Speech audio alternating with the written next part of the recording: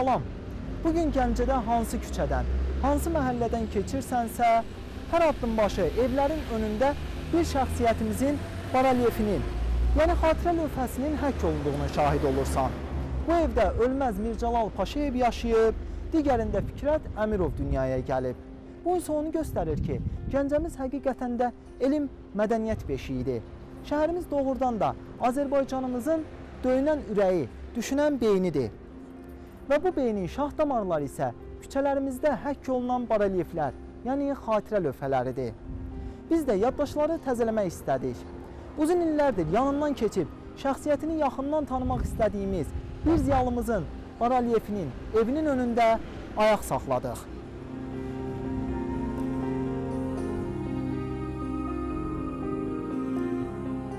Saxlamaya bilməzdik. Çünki elə sadə dildə desək, böyük insan və yaxşı adam olan bu gəncəlini həm günümüzdə, həm də gələcəkdə gəncəlilərə, Azərbaycana və dünyaya yaxından tanıtmaq artıq bu gün bir mənəvi borc məsələsidir. Borcu isə necə deyərlər, həmişə vaxtında qaytarmaq lazımdır. Bizim üçün isə vaxt bu gün imiş. Bəli, Gəncə adlı salnamə bu gün görkəmli ədəbiyyatşünas, tərcüməçi, Yazıçılar Birliyinin üzvü, filologiya elmləri namizədi, tanınmış Nazim Hikmətşünas alim, hər şeydən əsas, yaddaşlarda mülayimlik və səmimilik izi qoyan Əkbər Babayev dünyasının qonağı olacaq. Şəxsiyyətimizin həyat kitabəsini vərəqləyəcək. Ailədə savada, elmə, səviyyəyə, rəftara, mədəniyyətə çox böyük önəm verilirdi. Mən bu ailəni ora gələndən sonra belə tanımışdım. Xüsusən də Əkbər Babayev burada e, həmişə özünün mülayimliyi ilə, özünün e, çox gözəl rəftarı ilə, güləş üzü ilə e, seçilirdi. Həmişə də bu adamın bir dənə mərəmi var idi, sülh. Hər hansı bir problem olarsa onu elə çalışırdı çözülsün ki, ortada sülh olsun. Bax belə e, bunun xasiyyətində olan bu mülayimliyi, bu xasiyyəti mən xüsusilə qeyd edirəm. Çox sülhsevər, sülhpərvər, çox mədəni bir adam idi. Əkbər Babayev Azərbaycan millətinin Azərbaycan mövqeyindən baxsaq, türk mövqeyindən baxsaq, əsl nurlu insan. Çox böyük ziyalı idi. Ziyalı sözünün əsl böyük mənasında ziyalı idi. Çünki içindən qarışıq diplom, titul bunlar hələ ziyalılıq deməkdir. Əkbər Babayev hüceyrəsinə qədər, toxmalarına qədər ziyalı idi. Onun xarici görünüşü, onun danışığı, rəftarı, insanlara olan münasibəti, xalqa, millətə, dövlətə, sənətə olan münasibəti böyük ziyalılıqdan xəbər verirdi. Bilirsiniz, o Maksim Gorkinin bir əsəri vardı, Danko. Ürəyini çıxardıb işıq olaraq ama Əkbər Babayev belə insanlardan idi. O həqiqətən də ürəyini yandırıb insanlara işıq yolu göstərirdi. Əkbər Babayev e, ilk növbədə demək istəyirəm, bizim dədə-baba qonşu olub, bir məhəllədənik və Əhbər Babayev e, şərqşünaslıq elmində çalışan böyük bir alimimiz olub. E, o dövrdə e, Gəncə sakinləri bildiyiniz kimi çoxu repressiya qurbanları oldu, müxtəlif adamlar respublikadan getdilər və Əhbər Babayev də Lomonosov adına Moskva Dövlət Universitetində çalışdı ömrünün axırına kimi. Orada şərqşünaslıq fakültəsində dərs deyib, işləyib, elm işlərini davam etdirib. Və e, o dövrdə e, Moskva mühitində böyük bir şərqşünaslıq e, kafedrasında Azərbaycanlı gəncəllər toplaşmışdı. Qəzənfər Əliyev, Rüstəm Əliyev və o da Əkbər Babayev də həmən məktəbin davamçısı olmuş. Əkbər Babayevin böyüklüyü onda idi ki, o dar iki otaqlı Moskvadakı mənzilini Azərbaycan səfirliyini xatırladırdı. Buradan gedən hər bir sənət insanı, hər bir sənətkar, istər musiqiçi olsun, istər rəssam olsun, istər teatr şurası olsun, şair olsun, yazıcı olsun, nə vaxt getsəydi onun evi insanlarla dolu olardı. Yəni bu çox geniş ürəkli bir insan idi. Gecənin hansı vaxtında ona zəng eləsəydin ki, bu məsələ ilə bağlı o durub ərşinmədən durub gəlib sənin harayına, köməyinə çata bilərdi. Yəni bu böyük mənada çox böyük insan idi. Bəli, ziyalılarımızın təbirincə desək, sadə və səmimi şəxsiyyətdən söz açacağıq bu gün. Onun doğulub boya başa çatdığı küçə o zamanlar Zərrabi və Ozan məhəllələrini bir-birinə bağlayırdı. Bu küçəyə Sovet dövründə gənclərin kommunist internasionalının şərəfinə adlandırılan bir ad qoyulmuşdu. Kim küçəsi? Ziyalımız da məhz 1924-cü ilin 10 iyulunda Gəncənin bu küçəsində doğulub. Əkbər Babayev e, şəhərimizdə vaxtilə tanınmış, sayılıb seçilən ziyalı bir ailənin evladı olubdu. Onların babası Molla Ələkbər Axund e, hal-hazırda fəaliyyət Nizami kinoteatrı kimi fəaliyyət göstərən e, yerdə, e, məsciddə Axund olubdu. Molla Ələkbər Axund bu mahalda, yəni Zərrabı mahal e, kvartalında tanınan və məsləhət yeri olan sayılıb seçilən bir ağsaqqal olub. Ataları Ağarza müəllim seminariyada rus dili müəllimi olub. Yəni o da çox ziyalı, çox zadəkan bir ailənin evladı olub. Balaların da e, münasib böyüdüblər özlərinin adına, sanına, özlərinin səviyyəsinə. Əkbərgil 4 evladı olubdu rəhmətli Ağarza müəllimin. 2 oğlu, 2 qızı. Oğlu böyük oğlu Əkbər Babayev idi. O türk şünas idi. Qızının biri həkim, biri müəllim, biri isə mənim mərhum yoldaşım mühəndis idi. Əkbər müəllim repressiya olunan bir ailənin övladı olub. Bu ailəninki başçısı Ağarza müəllim 1947-ci ildə Stalin hökumətinin qəzəbinə tuş gəlib. Pantürkizm damğası ilə 25 il müddətinə azadlıqdan məhrum edilib. Cəzasını Bakıda 6-cı kolon deyilən məhbəsdə çəkib. Ağarza Babayev yalnız 1953-cü ildə millətlər atasının vəfatından sonra bəraət ala bilib. Repressiya olanlar da əsasən ziyalılar idi, görkəmli insanlar idi. Təsadüfi deyildi ki, Azərbaycan Demokratik Respublikası Gəncədə yaranmışdı. Və onun üzvlərinin əksəriyyəti Gəncədən idi. Çünki bura Gəncə böyük elm, mədəniyyət, ziyalı mərkəzi olub. Və bunu da sözsüz ki, qeyri-millətlər çox yaxşı bilirdi və əsas hədəf də həmişə Gəncə olub. Gəncədə olan sürgün sayı heç bir şəhərdə olmayıb, yəni Azərbaycan əyalətlərində. Və Əkbər Babayev də, yaxud onun atası da, yaxud o nəslə aid insanlar da sözsüz ki, e, qeyri-millətlər tərəfindən qəbul olunmurdu. Çünki milləti məhv etmək üçün nə lazımdır? Onun əlifbasını, dilini, ziyalısını əlindən almaq lazımdır. O da bəhs eləyir ki, millət kör-körana yaşasın. Ona görə də bu məqsəd yönlü təsəvvür edin, görün kimlərin adını çəkdik. Bunlar hamısı repressiya olmuşdu. Yalnız evladlarına türk adı qoyduğuna görə, yaxud türkcə ifadə danışdığına görə adicə bir insanın xəbər verməsi ilə böyük bir ailənin ziyalını məhv edir. Bu da bəhanə idi sözsüz ki, ziyalıları aradan çıxartmaq məqsədi güdür. Bilirsiniz, onun atasına verilən o ə, günah belə deyək, ayağına yazılan günah ona pantürkist deyirdilər. Bu o vaxtı keçən əsrin əvvəlində Türkiyədə e, dünyaya gələn bir hərəkat idi. Rusçanı Mlada Turki deyirdilər. Yəni o e, müəyyən qaydada Sovet hakimiyyətindən reaksion bir rejim kimi qəbul olunurdu, bir e, təmayül kimi qəbul olunurdu siyasətdə və onlar e, belə deyək də cəmiyyət tərəfindən o vaxtki cəmiyyət tərəfindən qəbul olunmurdu, onlar pislənilirdi. Həmin amillər bizdə də, yəni Sovet hakimiyyəti dövründə də burada da pantürkist deyilən bir çox adamların taleyini sındırıb ə, belə deyək də həbslərə atmışlar ailələrindən təcrid eləmişlər. Amma pantürkizmin özü belə tarixdən də görünür ki, bu heç də reaksion belə bir e, belə anti-insanlıq daşıyan bir e, hərəkət deyil idi. Bəlkə də elə ona görə o vaxt Əkbər atasının reabilitasiyası üçün Moskva şəhərindən bir e, gözəl bir advokat gətirmişdi və o advokat ancaq 52-ci ildə Ağarza müəllimə bəraət qazandırdı. Onu həbsdən çıxarda bildilər. Lakin təb təbii ki, o artıq həmin adam deyildi, bu tamamilə sınmışdı hər cəhətcə. Bəlkə də elə ondan irəli gəldi ki, Əkbər Türkiyəyə, Türkiyədəki olan siyasi hərəkətlərə, onun ədəbiyyatında, incəsənətdə olan hərəkətlərə daha çox meyl elədi.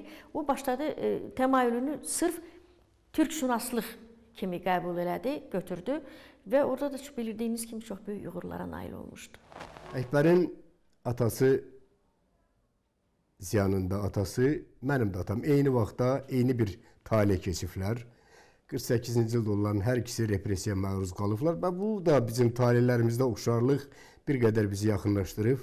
Əkbərin taleyi özlüyündə bir qədər e, mürəkkəb faciələrlə də dolu olub. Mən deyərdim, Əkbər 24-cü təvəllüddür. Mən onun qardaşı ilə birgə böyümüşəm. Bizim ailəvi münasibətimiz onun qardaşı vasitəsilə Allah qəni qəni rəhmət eləsin Ziya Babayevlə bağlı olub. Mən Ziya Babayevlə 12-13 yaşımdan bir yerdə böyümüşük, yoldaşlıq eləmişik. Sonra ailəvi yaxın münasibətlərimiz olub. Onun uşaqları mənə əmi deyirlər, mənim uşaqlarım ona əmi deyiblər həmişə.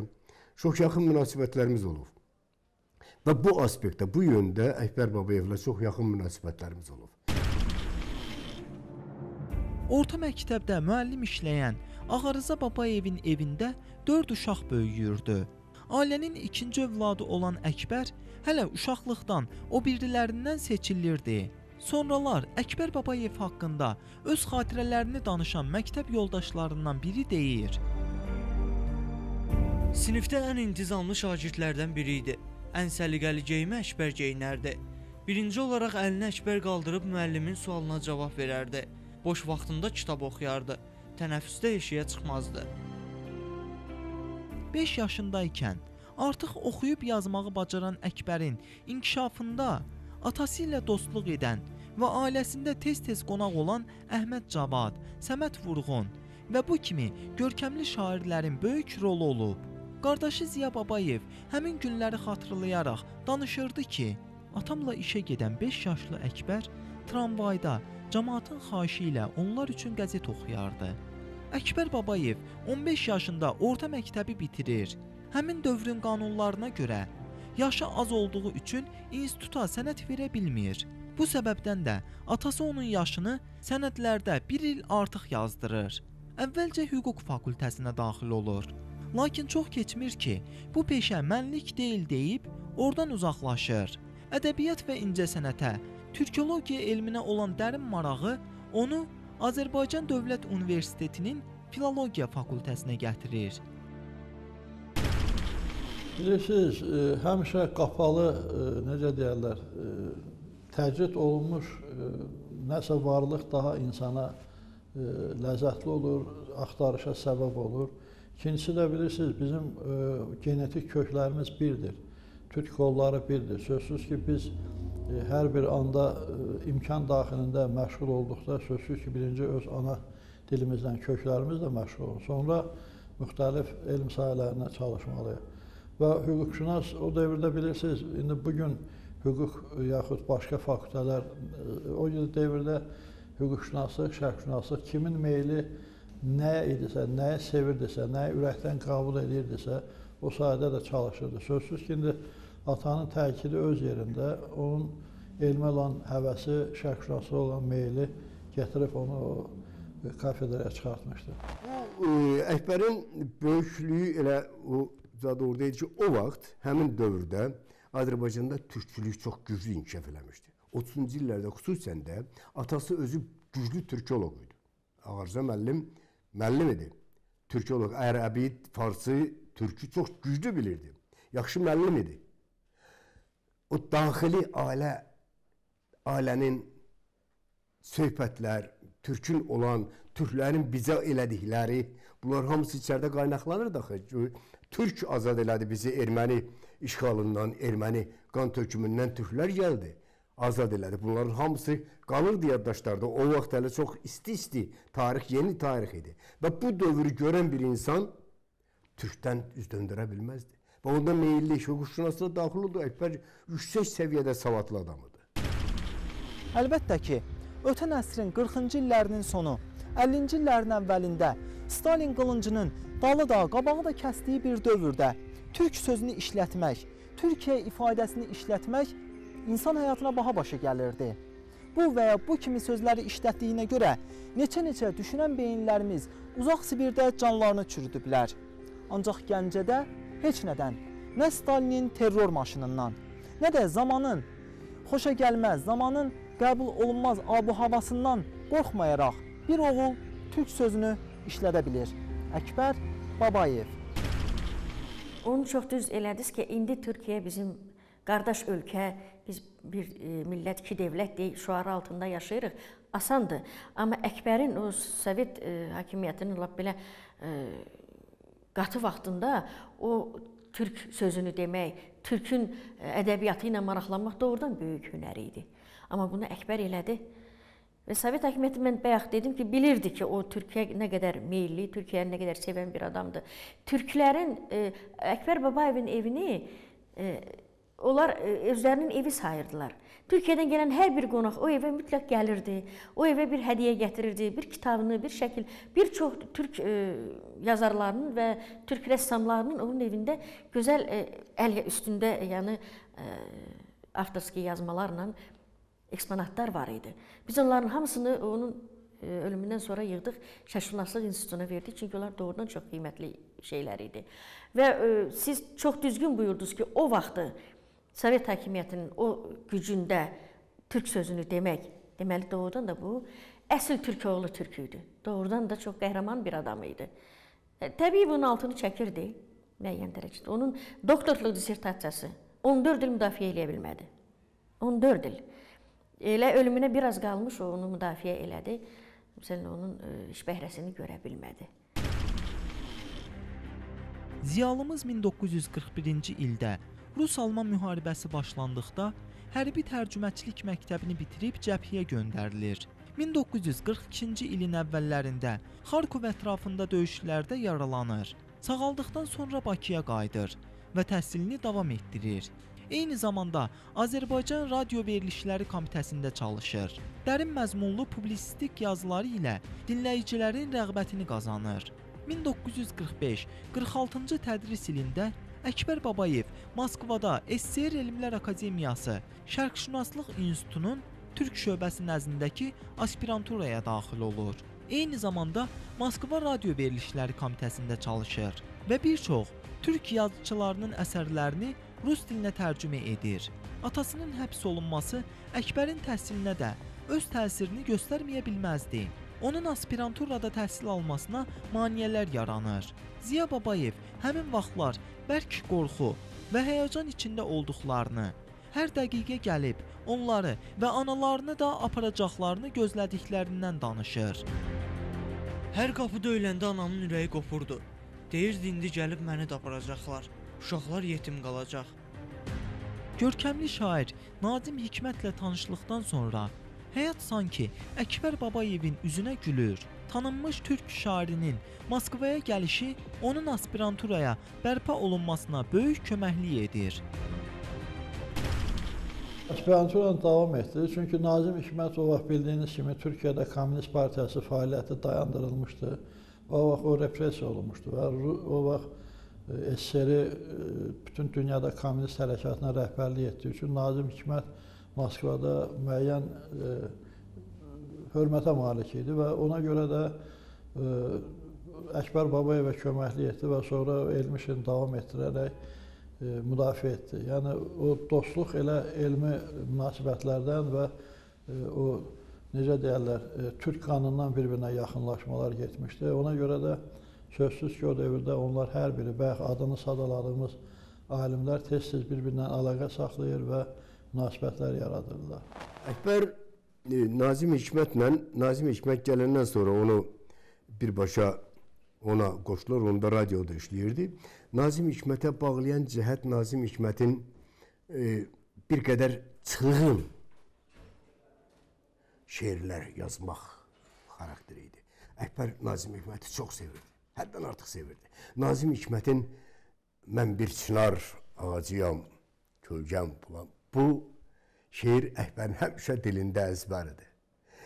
Yəni Nazim Hikmətdə həmi siyasi nöqteyi nəzərdən, həm də lirik nöqteyi nəzərdən çox güclü o mənalar vardı. Əkbər də həmişə dərinliklər axtarırdı. Sözün üzdə olan səthini yox, görünən tərəfini yox, onun dərinliklərini axtardı. Nazim Hikmətdə bu vardı. Ona görə də Nazim Hikmətdən aralanmırdılar. Nazim Hikmətdən bunların bunun ikinci həyatı bilirsiniz də o Sovetlər dövründə bunlar bağlılıq vardı. Nazim Hikmət də xarici idi. Nazim Hikmətin də xanımı başqa millətdən idi, türk idi. Yəni bunlar da Əkbərin də xanımı o vaxt elə həmin mənada rus millətindən idi, o olurdu. Bunları birləşdirən başqa bir məfhum vardı. Nazim Hikmət də xalqına, millətinə bağlı bir insan idi. Baxmayaraq ki, siyasi baxışları o kapitalizm ruhundan çox-çox uzaq idi. O daha çox sosialist idi. Və bu baxımdan Nazim Hikmət isə qanı ilə, canı ilə türk idi. Böyük mənada türk idi. Və o türk olduğuna görə də Nazim Hikmətlə Əkbəri bağlayan cəhətlər çox idi. Bir də ikinci bir tərəf də var ki, Əkbərin e, bağlılığı çox böyük idi. Sferası çox böyük idi. Və Nazim Hikmət daha çox Əkbərə möhtac idi. Həmişə dar gündə yetişdi dada. Sərmayə topladı belə nemətdən. Bizdən ayrılmağı bacardısa da ayrıla bilmədi Nazim Hikmətdən. Bəli, Əkbər Babayev Nazim Hikmət yaradıcılığına olan sevgisini 1951-ci ildə Nazim Hikmət yaradıcılığı ilə bağlı olan namizədlik dissertasiyasını müdafiə etməklə sübut edir. Əkbər Babayev Moskvada yaşasa da Gəncə ilə, Azərbaycanla əlaqələrini kəsmir. Elə öz ustadı hesab etdiyi Nazim Hikmətlə Gəncəyə gəlişi də buna əyani sübutdur. Qeyd edək ki, böyük türk şairi qədim şəhərimizi ziyarətdən məmnunluq duyub və ən çox da qocaman Gəncə çinarlarına heyranlıqla tamaşa edib. Əkbər Babayevin Zərrabi küçəsində olan evinədək piyada gələn Nazim Hikmət onu canlı görmək üçün yığılan pərəstişkarlarından birinin "Siz nə üçün bu qədər yolu piyada gəldiniz?" sualına Gəncənin çinar ağacları mənim həddindən artıq xoşuma gəldiyi üçün piyada gəldim cavabını verir. Mən sizə bir şey deyim, mən bu ailəyə təzə gələndə, bu 70-ci, 71-ci ildə idi. İnanırsınız, orada Nazim Hikmətin adı gələndə bütün ailədə o qədər ona sevgi ilə, ona belə e, məhəbbətlə danışırdılar ki, hardasa o mənə də elə bir keçdi. Mən də o adamın taleyi ilə, ədəbiyyatla başladım maraqlanmağa. Gördüm ki, doğrudan da Nazim Hikmət o deyirlər 100 ildə dünyaya gələn bir e, insanlar olur ki, Allah onlara çox böyük vergi verir. Hər insan kimi də ondan bir e, talant verir ki, bunlar özünü cəmiyyətdə də tanıtsınlar. Mən hesab edirəm ki, Nazim Hikmət belə bir insanlardan olubdu. Həqiqətən onun həm xarici görünüşü, həm zahiri görünüşü bir vəhdət təşkil eləyirdi. Çox gözəl insan olub həm fiziki cəhətcə, həm əqli cəhətcə, həm mənəviyyat cəhətcə. Ona görə də Əkbər onun haqqında böyük bir dissertasiya yazmışdı və o dissertasiya o vaxtki Sovet ədəbiyyatının e, e, böyük bir e, rezonans aldı və o Moskvaya gələndə e, Nazim Hikmət Moskvaya gələrkən 51-ci il idi dedilər. 51-ci ildə onu qarşılayanların birincisi məhz Əkbər Babayev olmuşdu. Və onları bir-birinə çox meyli qonmuşdu. O e, Əkbər Baba deyirdi. Əkbərə Əkbər Baba adlandırırdı. Onu yanında həmişə görmək istədi və onu özünə dost seçdi. O bizim evin də çox əziz qonağı olmuşdu. Bizim arxivdə bir çox e, köhnə şəkillər var Nazim Hikmət. Bax gördüyünüz o e, Zərravi məhəlləsindəki evdə oturub ailə üzvləri ilə e, nahar elədiyi vaxtı, onun yazışmaları durur bizdə. Yəni çox əziz adam olub bu ailə üçün Əkbər Babayevin təqdimatı ilə. Bax yadımdadır ki, bu 58-ci ildə bura gəlmişlər. Nazim Hikmət Əkbər gəlmişlər. Bizdə universitetdə də görüş keçirildi. O nə böyük təmtaraq idi, nə böyük rəvanlıq idi. Nazim Hikmətin danışığı, onun burada əsəri qoyuldu, əsərinə tamaşa, orada onun onunla birgə Əkbərgilin evində, Ziyagilin evində Maya xala bunlara nə qədər qulluq elədi Əkbər indi.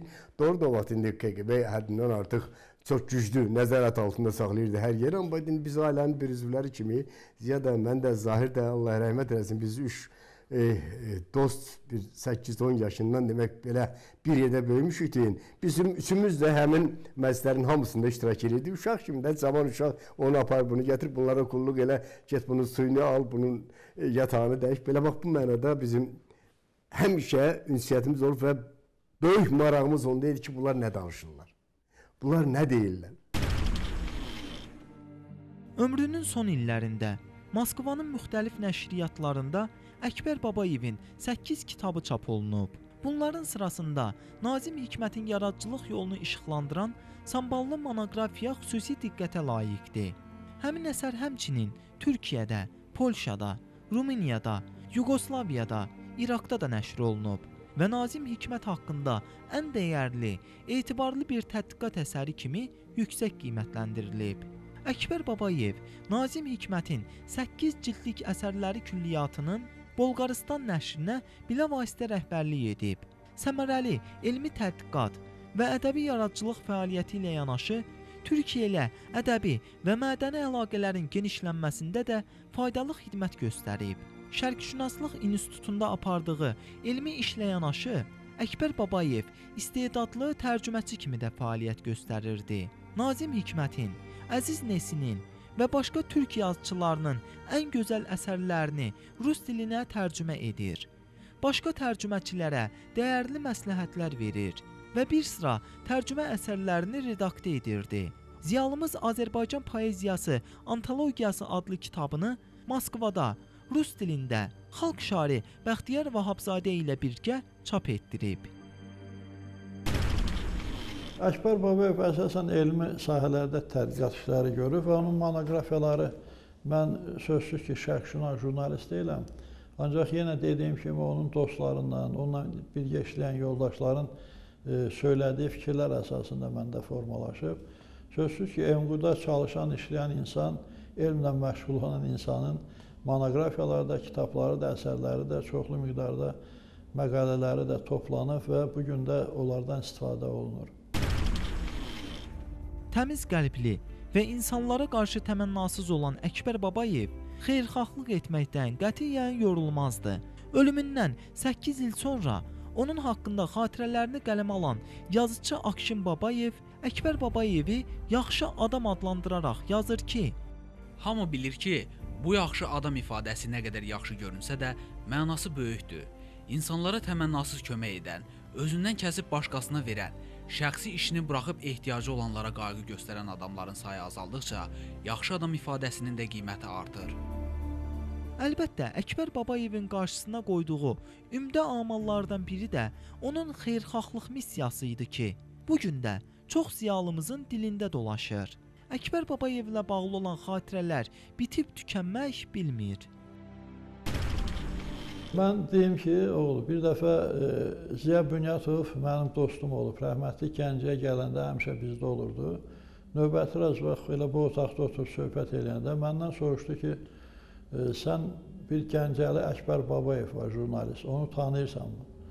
Mən dedim ki, xeyr, tanımıram. Dedi, bəs necə Gəncəlisən ki, sən Moskvada çox böyük hörmətə malik və başladı Rüstəm Əliyev və Qəzənfər Əliyev və bu adları çəkdikdə və onların qohumlarının adını mən başa düşdüm ki, bu kimdir və rəhmətli Ziya müəllimlə biz getdik.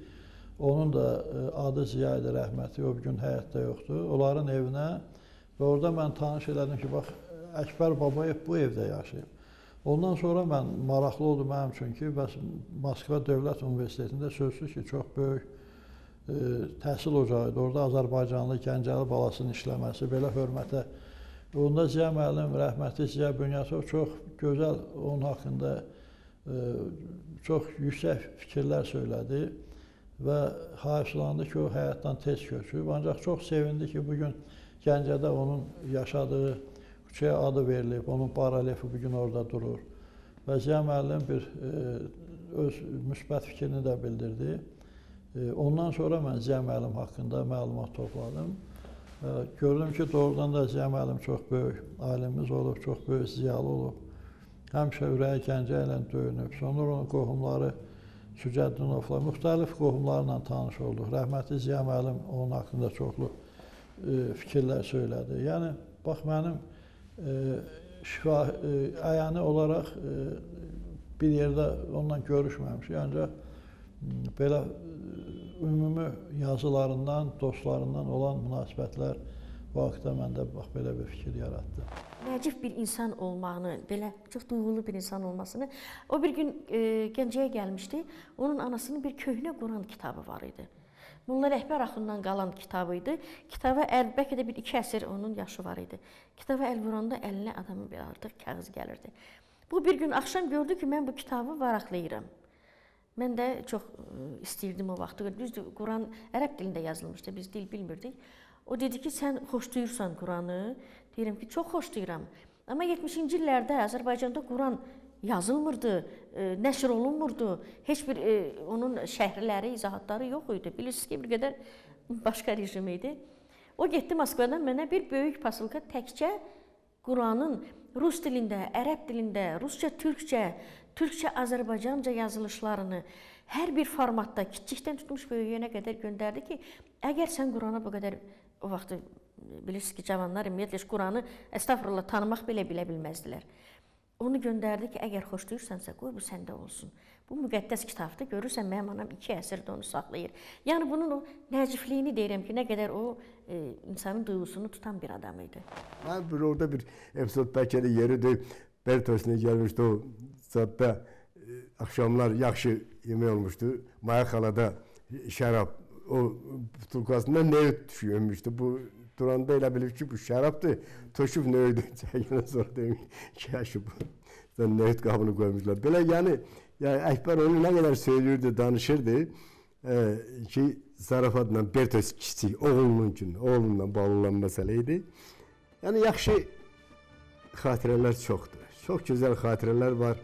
Nə deyirəm Allah ruhunu şad eləsin. Əkbər Babayevin ölümündən sonra onun haqqında xatirələrini yazan türk yazarları Əkbər Babayev Nazim Hikmətin Sovetlər Birliyindəki türbəsidir sözlərini yazırlar. Nazim Hikmət isə öz kitabında onun haqqında məni mənə tanıdana yazmaqla Əkbər Babayevə olan səmimi münasibətini bildirir. Bu gün ziyalımızın adını daşıyan küçədəki evlərdən birinin üstünə asılan xatirə lövhəsində Əkbər Babayevin kimliyi haqqında qısa məlumat verilsə də, çoxları Əkbər Babayev kimdir sualına cavab verməyə çətinlik çəkir. Əkbər Babayevin yaradıcılığı lazımi səviyyədə təbliğ və tədris olunmaması səbəbindən buna bəlkə də adi yanaşmalıyıq. Lakin həm yerlimizin doğma vətənində deyil, qardaş Türkiyədə və bir çox dövlətlərdə tanınmasına qısqanclıqla yanaşmaq olmur. Babayev türk ədəbiyyatının Sovetlər Birliyindəki dili və qulağı idi deyən türk yazarları onu həqiqətən də böyük qiymətləndirib və onun ölümündən dərin kədər hissi keçiriblər. Bəs görəsən, Əkbər Babayevin və bu kimi ziyalılarımızın tanımadığımız tanışlar sırasında olmasına günahkar kimdir? Ziyalımız özü yoxsa biz? Bəlkə hər iki tərəfdə var. Əkbər Babayev özü təbiətcə çox ə, ə, necə deyirlər ona, Rusiyada skromlu adam olurdu. O heç vaxt özünü təbliğ eləməyi, özünün nailiyyətlərini irəli çəkməyi, onu özünə bir böyük bir ə, iftixar bilmirdi. O deyirdi ki, mən öz işimi görürəm. Həm də ki, nəzərə alın ki, 47-ci ildə o 47-ci ildən, o Gəncədən kənarlaşmışdı. Düzdür, ədəbiyyat, incəsənət və e, sair xadimləri ilə əlaqə saxlayırdı. Amma geniş ictimaiyyət düz deyirsiniz, Əkbər Babayevi bir türkoloq alim kimi Azərbaycanda çox tanınmırdı. Həm də mən onun günahını bizim özümüzdə də görürəm ki, mən bizim ailəmiz yəqin ki, səhv eləyib onun e, yazdıqlarını, onun haqqında müəyyən bir avtobioqrafik xarakterli bir mövzuda heç bir çıxışlar, heç bir yazılar getməyibdi. Yəni bizim belə adamlarımız çoxdur. O demək deyil ki, onların bu gün e, bu el üçün, bu xalq üçün gördükləri qiymətləndirilmir. Sadəcə geniş cəmiyyət, geniş publika onları tanımır. Bu da bizim günahımızdır. İtirən biz oluruq hər halda belə adamları tanımamaqda. Sırf o sahənin alimləri onun irsinin dəyərini bilirlər, qiymətləndirirlər. Amma geniş ictimaiyyətdə doğrudan da Əkbər Babayev bu gün özünə layiq mən belə deyərdim ad almayıb. Sağ olsun Gəncə şəhərinin e, məsələn e, rəhbərliyi vaxtında onun adına o küçəni verdilər, o lövhəni onun üçün oradan astırdılar və e, müəyyən qədər bu o ailə üçün, onun ölümündən sonra təbii ailə üçün bir təskinlik idi. Ancaq onun elmi irsi barədə mən sizlə razıyam ki, kifayət qədər təbliğat yoxdur. Onun ölümündən sonra Türkiyədən bizə xeyli teleqramlar, qazet məqalələri göndərdilər. 7 nəfərdən ibarət bir dəstə yazıçılar bizə evə qonaq gəlmişdilər onun ölümündən sonraki Əkbər baba deyə, bax onların hamısını Əkbər baba deyirdilər Nazimin dili ilə. Əkbər babanın ölümü deyir, bizim e, Sovetlər ölkəsində deyir e, Əkbər Babayev Türkiyənin döyünən ürəyi idi. Bax belə adlandırırdılar ona. Belə qiymət verirdilər. Bəli. Əkbər müəllimin timsalında görkəmli alimlərimizin, elm adamlarımızın həyat yoluna səfər etməkdə bizim bir amalımız var. Məqsədimiz budur ki, Əkbər Babayev, Əli Quliyev, Nurəddin Babayev və onlarla bu kimi ziyalımız, bu kimi şəxsiyyətimiz kimdir deyəndə müasirlərimiz, müasir gəncliyimiz çiyinlərini çəkməsinlər. Heç olmasa az da olsa bu şəxsiyyətlərimizin Azərbaycanımız üçün, yəni elə bizim özümüz üçün etdiklərindən məlumatlı olsunlar. Sevindirici haldır ki, Gəncaldı Salnamə efirdə olduğu müddətdə bu verilişin yetərincə elmi və baxıcı kütləsinin olduğunu gördük. Bu isə o deməkdir ki, biz artıq öz məqsədimizə çatmışıq. Odur ki, gəlin şəxsiyyətlərimizi tanıyaq. Tanıyaq ki, özümüzü tanıyaq, kəşf edək və kim olduğumuzu bilək. Allah amanında salamat qalın.